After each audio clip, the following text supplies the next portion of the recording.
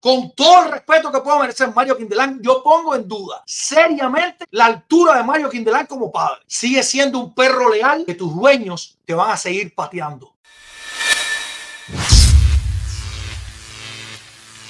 trascendió hace solo unos días que se encontraron eh, Mario Quindelán, el boxeador campeón olímpico cubano, y Amir Khan, a quien él había vencido eh, casualmente, y em, trascendió que en esta, en, esta, en esta visita entre ambos, Mario Quindelán le propuso venderle su medalla de oro olímpica por 5 mil dólares.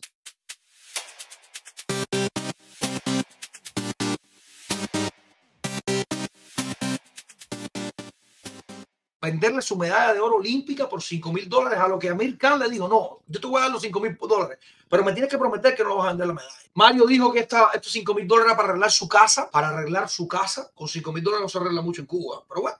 Vamos a seguir el cuento. Mario Quindelán dijo que esto era para arreglar su casa y Amir Khan le dijo, yo te voy a dar el dinero, no me voy a quedar con la medalla, pero me tienes que prometer que no la vas a vender. Honestamente, no creo que eso vaya a pasar, Amir yo sí creo que Mario Quindelán la va a vender. Salvo que ahora mismo el gobierno vaya y se la quite. Yo creo que Mario Quindelán va a vender la medalla en algún momento. 5 mil pesos se van a acabar rápido. Se le van a acabar rápido. Y eh, aquí, eh, incluso en lugares que se han hecho eco de esto diciendo eh, que Amir Khan avergonzó. No, no, no, no, para nada. Yo sí creo, quiero creer en la, en la postura, digamos, humilde de Amir Khan de decirle, no, brother, no, que te voy a comprar yo la medalla. Esa medalla es tuya, brother. Quédate, que te voy a ayudar con 5 mil pesitos. Te voy a ayudar de verdad. Y lo ayudo. Yo no creo que Amir haya hecho esto para burlarse de Mario Quindelán, ni mucho al contrario un gesto grande de un campeón, de un boxeador bien popular, de hecho, eh, Amir Khan, y em, no creo que haya sido esa la idea. No obstante, no obstante, esta primera parte de la historia, no voy a llevar la segunda, ahora lo voy a contar la segunda. Esta primera parte de la historia, quédate ahí, producción. Esta primera parte de la historia demuestra, mira que bien esa foto, caramba.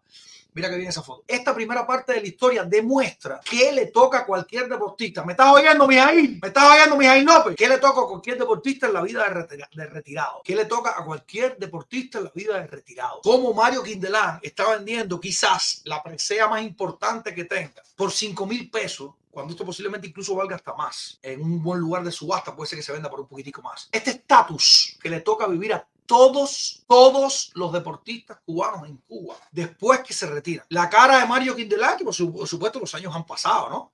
Pero eh, dice mucho de la felicidad, la alegría, lo bien, lo rozagante, lo saludable que está Mario Quindelán. ¿No lo parece? No lo parece. Pero entonces, para rematar, Mario Quindelán le dio una entrevista a Playoff Magazine, porque hay empresas para todo, ¿no? Lógicamente, Mario Quindelán no iba a venir sin completo a dar esta entrevista. Lo sabemos y lo entendemos además. Un fragmento eh, de las palabras de eh, de Mario Quindelán, que es donde, digo yo, se llena de vergüenza, pretendiendo Mario Quindelán que va a engañar a alguien. De la venta de mi medalla olímpica Cine 2002, no, todavía no me arrepiento, todavía no me arrepiento, no me ha hecho arrepentirme. La vendí porque me dio una situación crítica. No tenía prácticamente nada para comer ni para mantener a mis hijas, cosa que contradice lo que originalmente se había dicho que era para arreglar el techo de la casa, etc. Tuve problemas personales que me llevaron al divorcio, la vendí porque era mejor tener 4 o 5 pesos para comer que desertar. Es mejor estar pasando hambre y vender tu medalla que desertar, dice Mario Quindelán yo no sé si usted está leyendo otra cosa, pero Mario Quindelán se llena de vergüenza, una vergüenza horrible lo que está pasando aquí. Cuando Mario Quindelán dice, es preferible morirme de hambre que la vida me lleve incluso a un divorcio que no tenga nada que darle a mis hijas antes que desertar.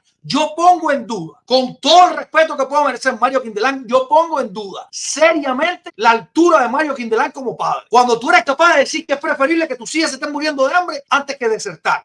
Sigo, dice Mario de, eh, Quindelán, un doble campeón olímpico del boxeo cubano. Traicionar a mi comandante, aguántense, aguántense. Traicionar a mi comandante, eso no lo iba a hacer nunca, porque aunque ya no está, mi palabra es, mi palabra es leal. No importa donde la gente se encuentre, si en el cielo, si en la tierra o si en el infierno. Cuando se es leal a alguien y a algo, hasta el propio enemigo te valora. Yo no te estoy valorando y me parece que somos enemigos en este momento. Esa es mi forma de ser, leal 100%, que pocos cubanos ya tenemos esa lealtad. Yo creo que tú estás muy equivocado, Mario Quindelán.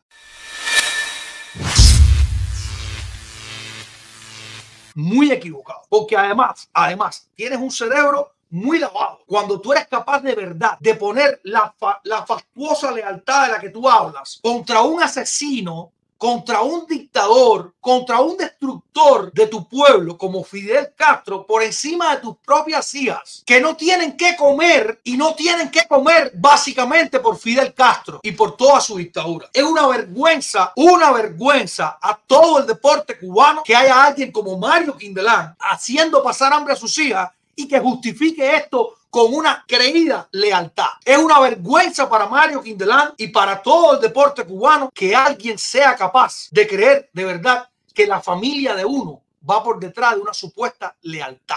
Eso no existe, porque de hecho, si esa lealtad existiera, a ti no te faltaría un plato de comida. Sigue siendo un perro leal que tus dueños te van a seguir pateando. Una vergüenza lo que has hecho, Mario Quindelán. Una vergüenza para todo el mundo deportivo cubano y una vergüenza para todo el que te ha seguido durante tu carrera.